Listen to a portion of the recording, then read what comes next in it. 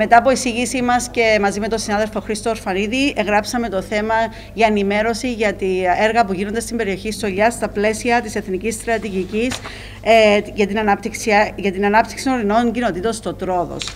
μια στρατηγική, οφείλουμε να πούμε, μια εθνική στρατηγική, η οποία είναι πολυδιάστατη και λαμβάνει υπόψη την αντιμετώπιση της αστιφιλίας, τη διασύνδεση του αστικού κέντρου μαζί με τις ορεινές περιοχές, την ανάπτυξη του επιχειρήν στα ορεινά μας, την πρόθεση των ε, παραδοσιακών μας προϊόντων, την πρόθεση της γεωργίας μας ε, και την πρόθεση υπηρεσιών υγείας και ασθενοφόρων σε αυτές τις ε, δύσκολες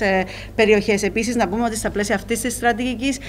έχουμε πρόσφατα δει δηλώσεις από τον Υπουργό Εσωτερικών που έχει αναβαθμίσει τη στεγαστική πολιτική, η οποία πλέον λαμβάνει υπόψη και τις 113 κοινότητε του Τρόδου, όχι μόνο τις 78, και στο σύνολο η όλη πολιτική λαμβάνει υπόψη 250 κοινότητε στην Κύπρο. Έχουμε ακούσει με πολύ προσοχή και ικανοποίηση τον Επίτροπο Ρερών Περιοχών, κ. Κώστα Γαμπιαούρη, το οποίο του έργο συγχαίρουμε για την πρόθεση συγκεκριμένων έργων στην περιοχή Σογιά και Μαραθάσα. Ο κ. Χαμπιαούρη μας έχει ε, αναφέρει τις ε,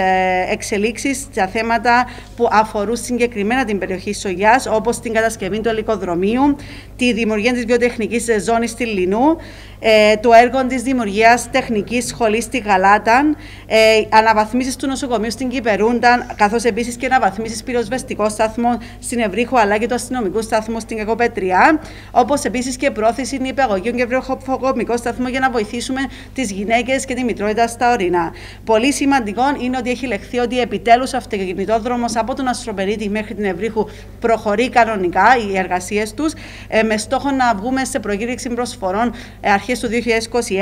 Το όλο έργο θα πρέπει να